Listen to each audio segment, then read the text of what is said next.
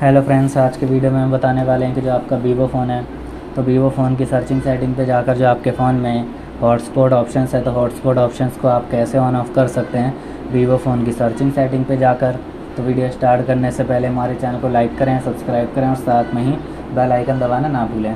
तो video start कर लेते हैं तो आप देख सकते हैं कि जो फ़ोन के आइकन्स हैं, आपके फ़ोन में कुछ इस तरीके से शो हो रहे हैं। तो आपको स्वाइप करना है स्वाइप करते ही वाला आइकन्स ओपन ही आएँगे। फिर आपको सेटिंग्स पे जाना क्लिक करते ही फ़ोन की सेटिंग्स ओपन ही आएगी। तो जो आपके फ़ोन में हॉटस्पॉट ऑप्शंस है तो हॉटस्पॉट ऑप्शंस को ऑन ऑफ़ कैसे कर सकते हैं? तो सिंपली सेटिंग शो हो रही है। तो आपको सर्च करना है।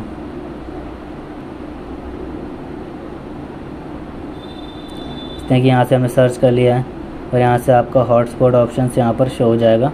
तो यहाँ से इसको ओपन कर लेंगे। ओपन करते ही जो भी हॉटस्पॉट ऑप्शन है, इसको आप यहाँ से इस तरीके से ऑन कर सकते हैं। ऑन करते ही इसका यूज़ कर सकते हैं। इसके ज़रिए आप किसी भी अदर्स फ़ोन में हॉटस्पॉट नेटवर्क को कनेक्ट कर सकते हैं, जिससे आप इंटरनेट यूट्यूब चला सकते हैं। इस तरीके से इसको ऑफ़ कर देंगे तो जो भी नेटवर्क आपके हॉटस्पॉट कनेक्ट होंगे डिसकनेक्ट हो जाते हैं ऑटोमेटिकली तो इस तरीके से हॉटस्पॉट ऑप्शन को ऑन ऑफ़ कर सकते हैं अपने वीवो फ़ोन की सर्चिंग सेटिंग पर जाकर। और आपको ऑप्शंस नहीं मिलता है तो आप फ़ोन की सेटिंग्स पे जाकर भी हॉटस्पॉट ऑप्शंस को ऑन ऑफ़ कर सकते हैं।